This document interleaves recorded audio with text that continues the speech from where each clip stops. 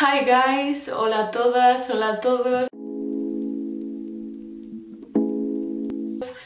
Estamos, creo que en todos los centros, en el tercer trimestre, segundo de bachillerato, significado exámenes, muerte, destrucción. Yo ya he pasado por eso, obviamente, estoy en el segundo año de la universidad y considero que como buena ciudadana lo mínimo que puedo hacer es dar mis consejos para sobrevivir a los exámenes de tercero, del tercer trimestre, segundo bachillerato en general, y sobre todo a la temible selectividad, que aunque esta palabra la lleváis escuchando durante todo el curso, cada vez se hace más real. Y yo al menos recuerdo estar no muerta de miedo, pero con la idea de, hmm, ¿y si es verdad que todas estas cosas que me están diciendo son peores aún cuando llega la hora del examen? Entonces, creo que esto lo voy a hacer una serie porque tengo muchísimas cosas que contar. En el vídeo de hoy me voy a centrar en a comenzar el tercer trimestre. Sé que vengo un poco tarde porque ya lleváis un, rato con el tercer trimestre, no pasa nada. Tampoco sé cómo va en cada instituto. Yo estoy hablando desde mi experiencia y en mi instituto hace dos años estábamos acercándonos a la temible semana de exámenes finales. Yo lo voy a aplicar a eso. Obviamente lo podéis ver en cualquier momento, si estáis en primero de BAC, si estáis en cuarto, si estáis empezando segundo. Pero los que estáis en tercero quizás os ayude un poquito más. O a lo mejor es muy tarde. Who knows? Yo creo que va a haber un vídeo para todos. Pero en el vídeo de hoy, en lo que me voy a centrar es en eso. Acaba de empezar el tercer trimestre. Venimos normalmente de la Semana Santa no tenemos ni idea de lo que va a pasar, mm, de repente hay un examen de química, de física, de biología, de lengua, de gallego, de inglés, hay uno de cada, eh, no repartido por la semana precisamente, sino que hay cuatro por día. Y tú dices, mm, estoy preparado, preparada, y tu cabeza te dice, ostras, es que si no estoy preparado para esto, ¿cómo voy a hacer con la selectividad? Pues tranquilos, señores y señoras, que todos hemos estado en, ese, en esa situación. Creo que muy pocas personas viviendo y respirando bien durante el resto del curso no se encuentran así en el tercer trimestre. Así que vamos con el vídeo y espero que os ayude mucho. Vale, pues como dije, acabamos de empezar el tercer trimestre, estamos en las primeras semanas, aún tenemos clases normales y se nos acerca la terrible semana de exámenes finales. Yo cuando me refiero a exámenes finales, la terrible semana de los exámenes finales, en mi instituto es tal cual.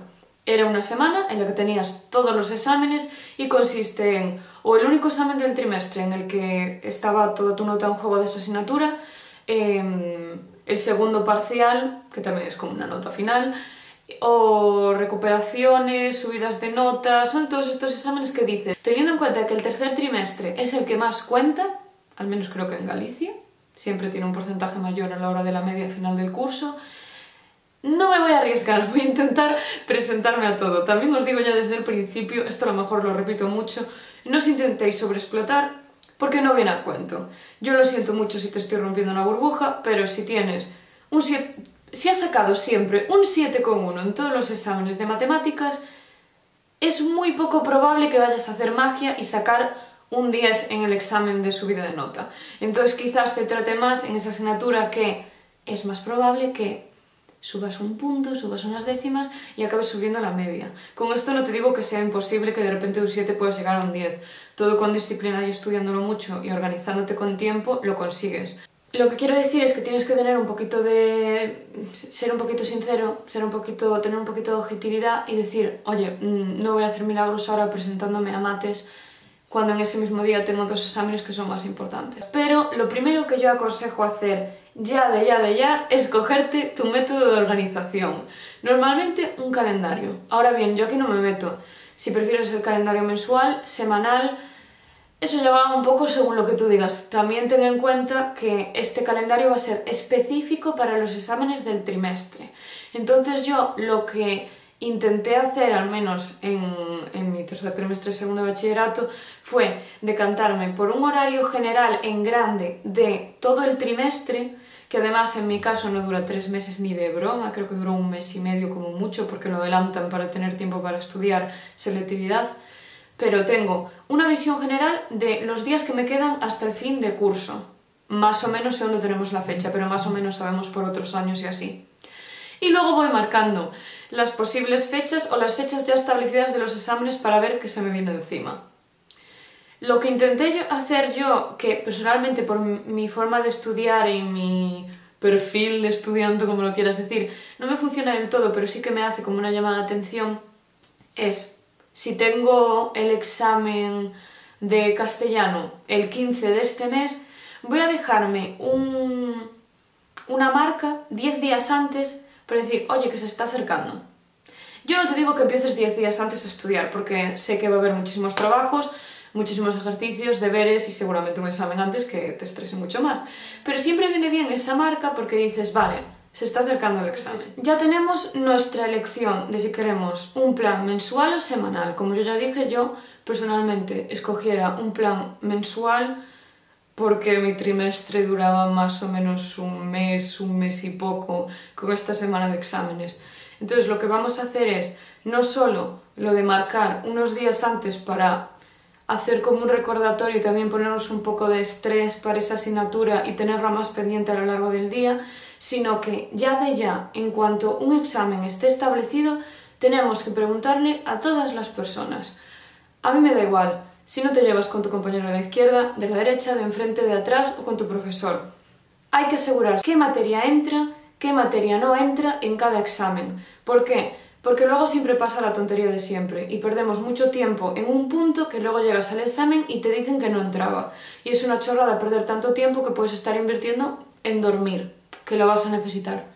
Al menos yo lo necesité. Entonces vamos a preguntar qué entra, cómo entra, revisar todos los ejercicios que hicimos, mirar ya si hay ejercicios que no tenemos hechos, pues de deberes o de fichas. Yo no voy a juzgar si no has hecho algo porque te dio pereza, pero justo antes del examen está bien preguntarle a algún compañero o ayudarte entre un grupo de amigos o así para tener todos los ejercicios hechos durante el curso si la asignatura es acumulable en el examen o durante ese trimestre porque te sirven de repaso y lo más seguro es que tu profesor o profesora utilice algo similar a la hora del examen. También otra cosa muy obvia, además aún ahora acercándose a la selectividad, es que mires los exámenes de años pasados de selectividad de esa materia, porque también es muy probable que tu profesor a la hora de querer prepararte para este examen final te ponga ejercicios o ya hechos en años pasados o ejercicios similares para que también estés haciendo un repaso inconsciente no solo de la asignatura, sino también del modelo selectividad como tal. Y ahora que tenemos absolutamente todo eso preguntado y todo marcado, también podemos enfocarnos en la asignatura en sí. ¿Con esto a qué me refiero? El método de forma de organización ya lo eliges tú, si carpetas, si folios, libretas, online. A mí eso me da un poco igual. Yo hice un pupurri de todo porque estaba buscando aún mi método de estudio de organización en segundo de back, o sea que tampoco os estreséis si queréis utilizar un poco de todo. Pero la idea es que, ya que estamos en los que van a ser los últimos exámenes de bachillerato, hay que empezar ya a organizar absolutamente toda la materia que tenemos de esa asignatura para selectividad. Entonces coge tu carpeta o lo que tú quieras y vamos a empezar a ordenar todos los contenidos de la asignatura, de tema 1 a tema 1000.400.000, todos los apuntes que tenemos en limpio.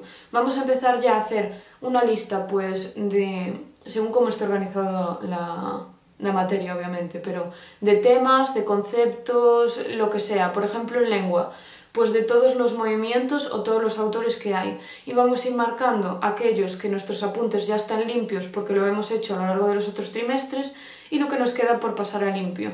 Y lo mm, organizamos todo en un montoncito para su lado. Y así ya sabemos, en la esquina derecha de la mesa tengo todo lo de lengua. Organizarlo en cajones o como veáis porque también acumula polvo, ¿no? Pero me entendéis, y así, cuando ya acabes los exámenes finales de segundo de BAC, tienes ya casi todo organizado para selectividad, porque en verdad selectividad es coger el montón de asignatura que quieras ese día, lengua, matemáticas, física, biología, lo que quieras, sentarte y ponerte a estudiar.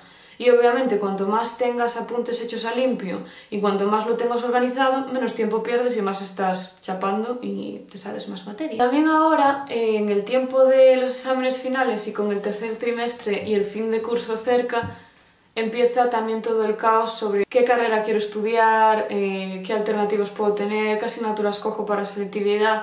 Sinceramente yo también estuve en esa situación, además yo estuve perdida hasta el último segundo cuando acabé selectividad y casi cuando entré en la carrera, vaya.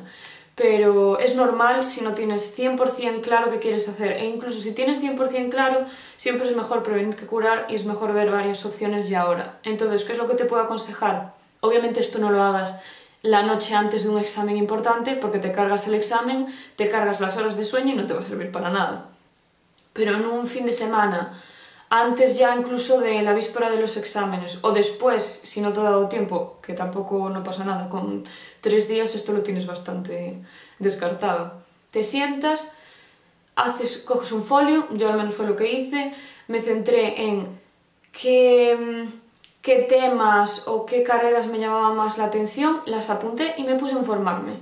Pues, por ejemplo, a mí me llamó la atención marketing. Empecé a mirar las notas de corte de marketing, cuáles son las asignaturas que más ponderan. Si aún no os han explicado esto, ponderar significa que em, de las asignaturas voluntarias que puedes elegir en selectividad, la nota que saques se multiplica o por 0,2 o por 0,1 y como puedes sacar solo 4 puntos de las voluntarias, lo máximo que puedes tener es o dos asignaturas de 0,2 o 4 de 0,1 o bueno, que de ahí te tienen que sacar 4 puntos, vaya. Entonces, según la carrera que elijas y según de qué rama es, científica, de letras, mixto o como sea, pues hay asignaturas que te ponderan más o te ponderan menos. Por ejemplo, en traducción, economía, en mi año estaba un 0,1, en cambio latín estaba un 0,2.